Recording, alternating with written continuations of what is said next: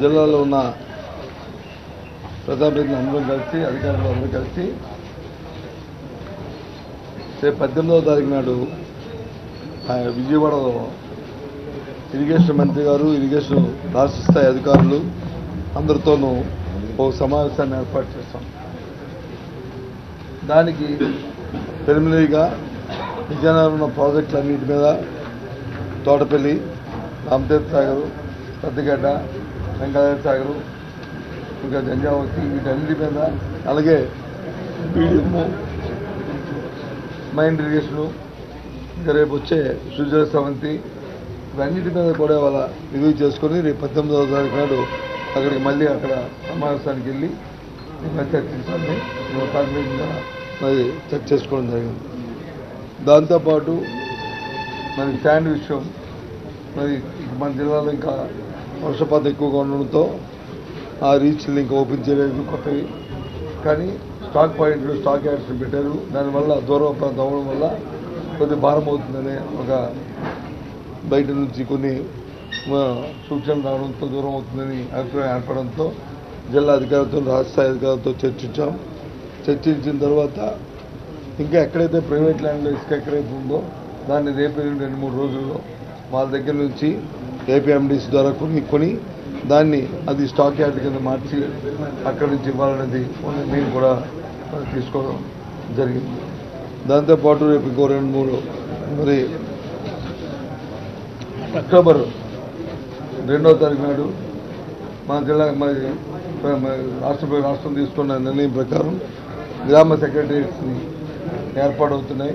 ఆ గ్రామ సెక్రటరీస్ ఒక ఒక మండలాన్ని ఎంపిక చేయాలి. ఆ మండలంలోనూ మొత్తం ఫుల్ ఫ్లెజ్డ్గా ఆ కార్యక్రమం నిర్వర్తించాలి. ముఖ్యమంత్రి గారు వచ్చి ఒక రాష్ట్రంలో ఒక దగ్గరికి వెళ్తారు. అలాగే జిల్లాలో ఉన్న వాళ్ళందరూ కూడా ఒక మండలాన్ని ఎంపిక చేస్తూ అందరూ అక్కడ దాన్ని ప్రారంభించాలని వాళ్ళ నిర్ణయాన్ని ప్రభుత్వం తీసుకుంది. ఆ నిర్ణయం ప్రకారం మరి విజయనగరం జిల్లాలో మరి బొబ్బిలి మండలాన్ని బొబ్బిలి నియోజకవర్గంలో బొబ్బిలి మండలాన్ని ఈ మొట్టమొదటిగా ఈ పథకాన్ని అక్కడ ప్రారంభించాలని జిల్లాలో ఉన్న ప్రజాప్రతినిధులు అలాగే అందరూ అధికారులు అందరూ కలిసి దాన్ని ప్రారంభించాలనేది ఆ నిర్ణయం తీసుకోవడం మరి జరిగింది ఇవాళ కూర్చుని డిస్కస్ చేసిన అంశాలు. వీటితో పాటు ఇక రేపు ఎవరైతే ఆటో డ్రైవర్లు ఎవరైతే ఉన్నారో ఆటో డ్రైవర్ కమ్ ఓనర్స్ ఎవరైతే ఉన్నారో ఎవరైతే పేదలకు వైట్ కార్డు వాళ్ళు ఉన్నారో వారందరికీ కూడా పదివేల రూపాయలు మరి పెన్షన్ వాళ్ళని వృత్తి వాళ్ళని మరి ఆ ప్రభుత్వం తీసుకున్న నిర్ణయం జగన్మోహన్ రెడ్డి గారు పాదయాత్రలో ఇచ్చిన హామీ. దాన్ని మరి అక్టోబర్ నెలలో దాన్ని ప్రారంభించాలని పెట్టినప్పుడు దాన్ని ఇన్వెస్టిగేషన్ చేయాలని చెప్పి అది ఇప్పటికే ఆ వార్డు వాలంటీర్స్కి వచ్చి అందరికీ కూడా దాన్ని ఎన్ఆర్ఎస్ చేయడం జరిగింది. అటు గ్రామ స్థాయిలోనూ అటు అటు అలాగే పట్టణ స్థాయిలోనూ గ్రామాల నుంచి ఎండిఓకి మరి ప్రిలిమినరీగా శాంక్షన్ చేసే అథారిటీ అలాగే పట్టణంలో అయితే కమిషన్ అందించి ట్రాన్స్పోర్ట్ అధికారిని దాన్ని పర్యవేక్షించమన్నారు. అల్టిమేట్గా రాష్ట్ర జిల్లా అంతా కూడా మరి జిల్లా కలెక్టర్ గారు దాన్ని మరి పర్యవేక్షిస్తూ ఆయన్ని ఆయన దాన్ని అంతటి కూడా శాంక్షన్ చేసే అధికారాన్ని జిల్లా గారికి అప్పగించబడింది. దాని మీద కూడా విధివిధానాన్ని చేసి ఏ రకంగా పగడబందీగా జరగాల్సిన విషయాన్ని కూడా చేయడం జరిగింది. దాంతోపాటు మన జరిగిన అమ్మవారి పండుగ మన సందర్భంగా జరిగిన అంశాన్ని మన ప్రేమిగా కలెక్టర్ గారు విజయనగరం ఎమ్మెల్యే గారు తిరుపతి గారు అందరూ మీటింగ్ సమావేశం ఏర్పాటు చేశారు. దాని మీద చర్చించుకొని రేపు మళ్ళీ ఇంకో కొద్ది రోజుల్లో రెండు మూడు రోజుల్లో మళ్ళీ అందరినీ పిలిచి ఒక సమావేశం ఏర్పాటు చేస్తే ముందుగా దాని మీద ఏ రకంగా చేయాలని కూడా మరి ఇంటర్నల్గా కూడా చేయడం జరిగింది. దాంతోపాటు ఈ మధ్య కాలంలో మరి పత్రికల్లో వస్తున్న వార్తల ప్రకారము విజయనగరం జిల్లాలో ఏదైతే ఆంధ్ర యూనివర్సిటీ ఎక్స్టెన్షన్ సెంటర్ ఏదైతే ఉందో దాన్ని ఎలక్షన్ ముందు ఆదరాబాదరాగా యూనివర్సిటీగా వాళ్ళ గత ప్రభుత్వం మరి నిర్ణయం ప్రకటించడం ప్రకటించడం దా దాన్ని ప్రకటించిన నేపథ్యంలో దానికి గురజాడ అప్పారావు గారు మరి మన వారి పెద్ద వారి పేరుని క్రిస్టియన్ గురజాడ అప్పారావు గారి పేరుని దాన్ని పెట్టడం కూడా జరిగింది. దాని మీద ఈ మధ్య పత్రికల్లోనూ వాటిలోనూ కొన్ని సందేహాలు నిలబెట్టడం కొంతమంది వచ్చి అదేదో ఈ ప్రభుత్వం వచ్చి మార్పు చేసింది తీసిందనే ఒక అభిప్రాయాన్ని వ్యక్తం చేస్తున్నారు. ఆ విషయాన్ని కూడా ఎమ్మెల్యే గారు వచ్చి మా దృష్టికి తీసుకురాగానే మరి రాష్ట్రంలో ఉన్నతాధికారులతో కూడా అలాంటిది ఏమీ లేదు మాకు తీసుకున్నారు కన్నాం అయినప్పుడు కూడా క్లారిఫై చేయాలని మరి రాష్ట్రంలో ఉన్న ఉన్న విద్యా చైర్మన్ గారిని హైర్ ఎడ్యుకేషన్ చైర్మన్ గారితో కూడా మాట్లాడి దాని సంబంధిత అధికారులతో మా మంత్రితో కూడా మాట్లాడి అలాంటి విషయాలు ఏమీ లేదు. ఏదైతే రాష్ట్ర వచ్చిన జీవో ఏదైతే ఉందో ఆఖరిలో రాజకీయ ఉద్దేశం ఉని రాజకీయ లాభ స్వాభం కోసం ఉంది ఏదైనప్పటికీ కూడా యూనివర్సిటీగా దాన్ని నామకరణం చేయడం జరిగింది. దాన్ని కొనసాగించాలనే నిర్ణయాన్ని కొనసాగిస్తున్నాం. ఎక్కడా కూడా గురజాడ పేరుని ఆయన అందరవాడు అంతేగాని రాజకీయాల కోసం ఆయన రాజకీయాల ఆపత్తిని సంబంధించి కాదు. కానీ ఆయన పేరులో ఏ విధమైనగా ఆ పేరు మార్పు కానీ ఏ విధంగా లేదనేది మాత్రం మరి మీ ద్వారా ఇలా జిల్లాలో ఉన్న ప్రధాని అందరికీ కూడా ఆ విషయాన్ని కూడా తెలియజేస్తాం. ఈ విషయాలన్నింటినీ కూడా చర్చించుకుని రేపు పద్దెనిమిదో తారీఖు అంతిమంగా ఈ వి- వి- విజయనగరం సంబంధించిన ఏదైతే ఇరిగేషన్ సాగునీరు సంబంధం ఉందో దాని మీద మే- మీటింగ్ ఉంది ప్రధాన అంశంగా ఆ కార్యక్రమాన్ని తీసుకోవడం జరిగింది. రిలీజ్ చేశారు. ఆ సందర్భంగా మీతో పాటు మంత్రులపైన కూడా ఆయన చాలా ఘాటు వ్యాఖ్యలు చేశారు. దానిపై మీరు ఎలా స్పందిస్తారు? ఒక విషయాన్ని ఇవాళ ఉదయం నుంచి ఉదయాన్నే నేను విజయనగరం రాగానే ట్రైన్ దిగి ఉదయం వచ్చిన దగ్గర నుంచి అభివృద్ధి కార్యక్రమాలకు సంబంధించి వెళ్ళి ఖోఖో క్రీడలకు సంబంధించిన ఒక కార్యక్రమాన్ని పాల్గొనడం జరిగింది. మధ్యాహ్నం నాలుగు నుంచి ఇప్పుడు ఎనిమిది ఎనిమిది నాలుగు గంటల పాటు ఎనిమిదిన్నర నాలుగున్నర గంటల పాటు క్షుణ్ణంగా జిల్లాలో ఉన్న పలు అంశాల మీద వచ్చి మేము అధికారులు ప్రజాప్రతినిధులు అందరం ఉన్నాం కదా. మా ఎంపీలు ఉన్నాము మా మా గౌరవ డిప్యూటీ చీఫ్ మినిస్టర్ గారు ఉన్నారు మా ఎమ్మెల్యేలు ఉన్నాము. అందరం కలిసి కూర్చొని అధికార జిల్లా కలెక్టర్ గారు జాయింట్ కలెక్టర్ అధికారులు అన్ని అంశాల మీద చర్చించుకున్నాం. మరి ఇదంతా ఇది ఈ విహార విహారయాత్ర ఇది కార్యక్రమ ఎందుకంటే వారి ద్వారా బుద్ధి చెప్తుందంట. మా మా బుద్ధి మా ఆ నోరు వారి ద్వారా అలవాటుల్ని అది వారి ద్వారా అభిప్రాయాన్ని అవి చెప్తుంటుంది ఆయనకి ఆయనకి అలవాటు ఏంటో సినిమాల్లో కాల్ షీట్ల ప్రకారం చేసుకోవడం అనేది ఆయనకు అలవాటు అవ్వచ్చు. కానీ దయచేసి ఇలాంటి చిన్న స్థాయి దిగు స్థాయి మాటలు మాట్లాడి దిగదాల్చడం కరెక్ట్ కాదు. దా- అది కాకుండా దాన్ని చూశాను ఆయన తాలూకు ప్రెస్ మీట్ అంతా కూడా. ఎక్కడ కూడా పసలేదు ఎక్కడ కూడా. ఏ విధంగా కూడా ఏ అంశం మీద కూడా గట్టిగా ఇది తప్పు ఇది కరెక్ట్ కాదు ఇది ప్రజలకు ఇబ్బంది ఇది ఇది మ- ఇది మంచి సాంప్రదాయం కాదు ఈ విధంగా చేస్తే బాగుంది. ఒక్క విషయాన్ని చెప్పాడు చెప్పనండి అందరూ. ఒక్క విషయాన్ని ఫ్లాగ్ చేశారని చెప్పనండి ఏ విషయం ఉంటే నేను నేను ఒప్పుకుంటాను. ఎంతసేపు కూడా ఏదో అలా అలా అలా అలా అలా ఏదో మాట్లాడుతున్నట్టు అధికారులు నుంచి అంటే ఒక కమిట్మెంట్ ఉండాలి. ఒక పట్టుదలతో వచ్చి ఎస్ ఇది కాదు ఈ అంశం ఉండాలి. ఇది వంద రోజులు పరిపాలన అయింది. చెప్పాడు ఆయన స్కూల్లో వచ్చి ఆడపిల్లలు స్కూల్కి వెళ్ళడానికి ఇబ్బంది పడుతున్నారు అన్నారు. స్కూల్లో పిల్లలు వచ్చి చదువుకోవడానికి విధి బాగాలన్నారు ఈ వందలు స్కూల్లో ఆడపిల్లలు వచ్చి స్కూల్కి వెళ్ళడానికి ఇబ్బందిగా ఉందంటే ఎవరు తప్పండి? ఏ ప్రభుత్వం తప్పండి? అది జగన్మోహన్ రెడ్డి గారు తప్ప ముఖ్యమంత్రి గారు తప్ప లేకపోతే ఈ ప్రభుత్వం తప్ప ఎవరు ఎవరితో ఎవరితో ఎవరైనా ఐదు సంవత్సరాలు పరిపాలించాడు? ఎవరిని ప్రశ్నించాలి? అది అది అది వంద రోజుల పరిపాలనలోను ఇది ఒక అంశమా? అంటే దాన్ని బట్టి అతని స్థాయి అతని ఆలోచన విధానము అది తెలుస్తుంది. కాబట్టి ఎందుకంటే నేను ఎక్కువగా అది అంటే ఎందుకంటే మంచితో అన్నం అంతా వండి చూడక్కర్లే. ఒక గింజ పట్టుకుంటే ఉడికిందో లేదా అన్నం తెలుస్తుంది. అంటే అది ఆలోచన విధానం ఎలాగుందో ఆ సలహాదారులు ఎలాగున్నారో ఆ పక్కన మరి వాళ్ళు ఎలాగున్నారో మొత్తం ఆ టీం అంతా ఏ రకంగా ఉన్నారనేది చెప్పడానికి అది మంచితనం కాదు. అది కాదు.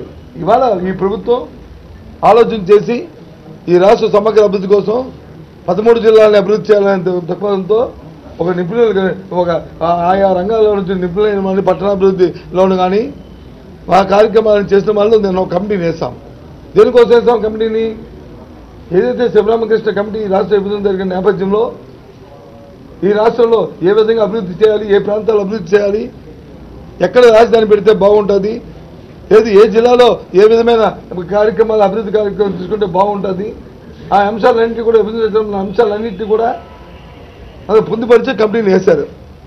ఒక ఎక్స్పర్ట్స్ కంపెనీని వేశారు. దాన్ని పెడచెవిన పెట్టడం వల్ల ఇవాళ ఐదు సంవత్సరాలు కాలయాపన చేయడం వల్ల ఈ రాష్ట్రం అన్ని రంగాల్లో కూడా వెనకబడిపోయిన నేపథ్యంలో మళ్ళీ ఇవాళ ఈ ప్రభుత్వం ఆలోచన చేసి ఈ రాష్ట్రంలో ఐదు కోట్ల మంది ప్రజలకి మనం బా మనం వచ్చి బాధ్యులం. ఐదు కోట్ల మంది ప్రజల్ని తాలూకు ఆలోచనతోని పదమూడు జిల్లాల తాలూకు అభివృద్ధి ఉన్న అంశంతోనే నిన్న వచ్చే కమిటీ వేసి దాని మీద ఎందుకంటే ఎవరైనా ఎక్స్పర్ట్స్ చెప్పింది వెళ్తామా సినిమాల్లో వచ్చి రాజమౌళి పెద్దవాడు నేను కాదన్ను. అతని గురించి నాకు ఇంకో అభిప్రాయం లేదు. సినిమా రంగంలోని మన ఆంధ్రప్రదేశ్లో డైరెక్టర్లో దా- తర్వాత అందరి అంతకంటే ఇంకా పెద్దవాడు అయిపోయి. అవ్వచ్చు అవ్వచ్చు మేబీ కానీ రాజధాని ఎక్కడ పెట్టాలి? ఏ జిల్లాని ఏ రకంగా అభివృద్ధి చేయాలి? ఆ జిల్లా వనరులు ఏంటి? జిల్లాలో సాంకేతిక అవసరాలు ఏంటి? ఈ రాష్ట్రం తాలూకా ప- పరిస్థితి ఆర్థిక పరిస్థితులు ఏంటి? ఆర్థిక పరిస్థితికి తగ్గట్టు ఏ కార్యక్రమాలు చేయాలి అనే విషయం అంశాలు తెలియవు కదా? గత ప్రభుత్వం చేసింది ఆ కార్యక్రమాలు. ఇవాళ జగన్మోహన్ రెడ్డి గారు కాకుండా మనకున్న రాష్ట్ర అవసరాలకు అనుగుణంగా అనుగుణంగా రాష్ట్రంలో ఉన్న ఆర్థిక వనరులకి అనుగుణంగా ఆర్థిక వనరుల అవసరాలు చూసుకుంటూ ఏ ప్రాంతాలు ఏ విధంగా అభివృద్ధి చేయాలో ఆలోచన చేస్తూ నిన్న ఒక పెద్ద కమిటీ వేసింది. దాన్ని ఆలోచన చేయాలి ఈ నాయకులు అందరూ కూడా. అవి మానేసుకొని ఎంతసేపు చౌకబారు ఉపన్యాసాలతోనూ చౌకబారు కా- కార్యక్రమాలతోనూ పెయిడ్ ఆర్టిస్టులు పెట్టుకొని కార్యక్రమాలు టీవీలోనే వచ్చి వాళ్ళతో వచ్చి చౌకబారు తాలూకా మా మీద విమర్శలు ఈ రకమైన కార్యక్రమాలు చేశారు. అందుకే ప్రజలు వచ్చి ఇచ్చారు. అందుకు కాబట్టి ఇవన్నీ మేము పట్టించుకోవట్లే ఇవాళ జగన్మోహన్ రెడ్డి గారి నాయకత్వంలో ఈ ప్రభుత్వం తాలూకు ఆలోచన ఈ రాష్ట్రం తాలూకా సర్వ సర్వతో అభివృద్ధి ఈ ప్రాంతం తాలూకా ఈ ప్రజల తాలూకా సంక్షేమం ఎవరైనా అనుకున్నప్పటికీ ఏం చేసుకున్నప్పటికీ మా మాకు సంబంధం లే. మా దృక్పథం అంతా ఒక పక్క సంక్షేమం ఒక పక్క అభివృద్ధి పట్లే మా కార్యక్రమం ఉంటాయనేది మీ ద్వారా రాష్ట్ర ప్రధానికి సార్ తెలియజేస్తున్నాం రాజధాని పైన గెజిట్ విడుదల చేయకపోవడం చంద్రబాబు అసమర్థతే. మీరు అసలు సమర్థతను వంద రోజుల్లో అతని అసమర్థం మా సమర్థం అనుకున్నప్పుడు అదే అదే ఇతని అవేకం ఇతని అవేకం అదే. నీకు అంటుంది ఇప్పుడు ఏదైతే జరిగాడో అదే అదే అదే అదే అవేకం నేను అంటుంది నువ్వు ఇది చేయలేకపోయావు నువ్వు ఎందుకు మేము చేస్తాం ఆగు వెయిట్ వెయిట్ చేయి. మేము చేస్తాం వెయిట్ చేయమని ఆ చేయడానికే మీద కమిటీ. ఏదో ఏదో ఒక శివరామకృష్ణ లాంటి వారి పెద్దవాడి తాలకు ఒక ఒక నిపుణుని తీసుకొచ్చి ఆ రంగంలో వచ్చి ఒక రిసర్చ్ని తీసుకొచ్చి ఒక కమిటీ వేస్తే అతను తీసి నారాయణ కమిటీ అని ఒక కమిటీ వేసి ఆ కమిటీని పెట్టి అక్కడ రాజధాని చేస్తే ఇవాళ రాజధానిలో మీకు వాస్తవ విషయాలు ఏం తెలుసో చెప్ప ఒక విషయాన్ని మీకు చెప్పమంటారా? అరవై నాలుగు వేల మందికి పట్టాదారులకు పట్టాలు ఇస్తే అక్కడ? అందులో నలభై మందికి ఇస్తే అరవై నాలుగు వేల పట్టాదారులు లేఅవుట్ని డెవలప్ చేయడానికి పద్దెనిమిది వేల కోట్ల రూపాయలని టెండర్లు పిలిచారు లేఅవుట్కి తాలూకా డెవలప్మెంట్కి. దాని రోడ్లకు వచ్చి ఇంకో ఇంకో ఇంకో పదిహేను వేల కోట్లు. అంటే ముప్పై మూడు వేల కోట్ల రూపాయలు రోడ్లకి ఆ లేఅవుట్కి ఖర్చు పెడితే రాష్ట్రం తాలూకు పరిస్థితి ఆలోచన ఆలోచించేయండి రాష్ట్ర రాష్ట్ర ఖజానా వచ్చి ఈ రకంగా చేయమంటారా?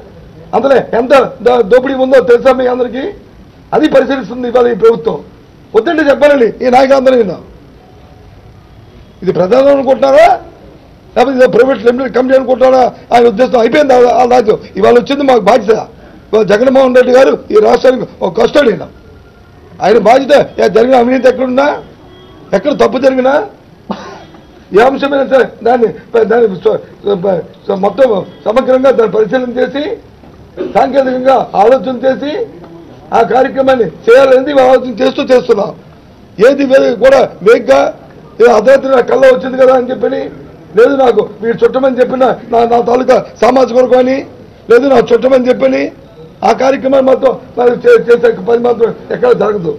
ఈ ప్రభుత్వం చేస్తుంది ఒక సమగ్రమైన ఆలోచనతో ఒక ఒక సాంకేతికపరమైన ఆలోచనతో రా- రాష్ట్ర ఆర్థిక పరిస్థితిని దృష్టిలో పెట్టుకొని రాష్ట్రంలో ఉన్న పదమూడు జిల్లాల తాలూకా సమగ్ర స్వరూపాన్ని ఆలోచన చేసుకొని ఇవాళ కార్యక్రమాన్ని ఇవాళ చేస్తుంది.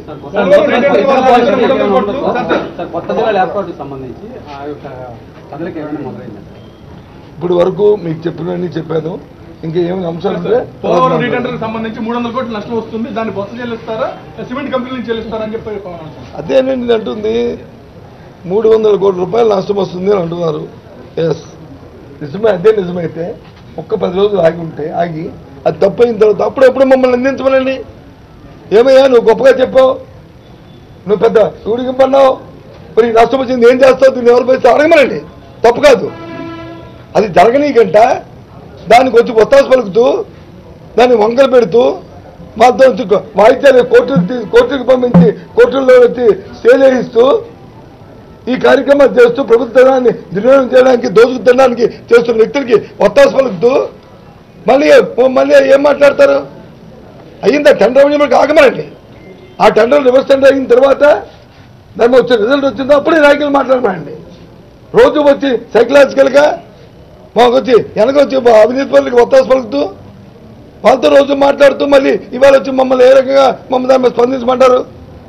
ఇవాళ ఏదైతే ప్రతిపక్ష నాయకులు బాధ్యత రహితంగా ఇవాళ తెలుగుదేశం పార్టీ కానీ పవన్ కళ్యాణ్ కానీ ఇవాళ తెలుగుదేశం పార్టీ వెళ్ళి ఇంకో పార్టీ ఉన్న నాయకులు కానీ బాధ్యతారహితంగా అవినీతి పనులు కుమ్ముకాస్తున్న ఇది వాస్తవం. సాక్ష్యాలు రుజువులతో సహా అన్నీ కూడా చెప్తున్నాం. ఒకటి కాదు ఒకటి ఒకటి చెప్తున్నాం. చెప్తుంటుంటే తప్పునికి పోయి మళ్ళీ అది కాదు ఇంకో దానికి కుప్పగంతులు వేస్తున్నారు. నిర్దిష్టంగా ఏ అంశాల మీద వచ్చి ఈ అంశం తప్పు. మీరు అని చెప్పి చెప్తే దానికి సమాధానం చెప్తాం. పోలవరం ఎస్ ఆగమనండి టెండర్ లేని వరకు ఆగమనండి. కేసులకి వెళ్ళొద్దనమాట నా స్నేహితుల్ని స్నేహితులతో కేసులు ఇస్తే చేయమనండి. టెండర్ అయిన తర్వాత అప్పుడు కానీ తప్పు జరిగితే అప్పుడు ఆగమనండి. అది ఆకంట చేయకంట మూడు వందల కోట్లు అస్వస్థ ఎవరు చెప్పాడు మూడు వందల కోట్లు ఈయనకి ఈయన కళ్ళ వచ్చి చెప్పారు మూడు వందల కోట్లు అస్వస్థ అని ఈయనేమే టెక్నికల్ ప్రశ్న ఆయన. ఏం తెలిసిన ఆయనకి? Sorry. For more latest exclusive updates please subscribe to Real Media news entertainment exclusive thank you